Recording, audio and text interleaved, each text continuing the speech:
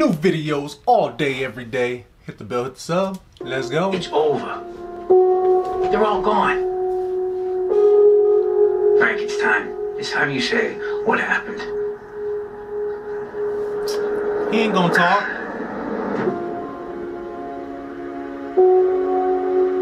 Frank, I want you to meet my cousin, Russell Bufalino. Better watch, there's a lot of tough guys around here. Did he tell you? The tough guy. You're not afraid of tough guys, are you? Didn't think so. I was one of a thousand working stiffs. Until I wasn't no more. You got a good friend here. You don't know how good a friend you got. Russell, he took a shine to me right away. After a while, he started giving me little things to do. Ooh. Point blank shot like read a that. Of things about me. I just want to say I'm sorry. I know I wasn't a good dad. I know that. I know that. I was just trying to protect all of you. From what? You didn't see what I see, what I've been through. A friend of ours is having a little trouble. A friend at the top. Hiya, Frank. This is Jimmy Hoffa. Nice to meet you. Oh, okay. And the government is on the attack! You want to be a part of this fight? A part of this history?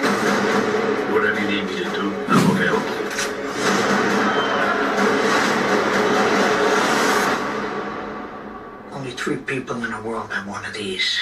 And only one of them is Irish. You know how strong that made you? I know things they don't know I know. He said that? You sure he said that? I'm worried. Nobody threatens Hoffa. I got records. I got tapes. They're done. I had to put you into this thing. Sooner or later, everybody put here as a date when he's gonna go. So good, man.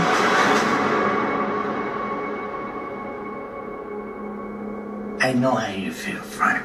Trust me, I know how you feel. We'll bring you back after you get your car.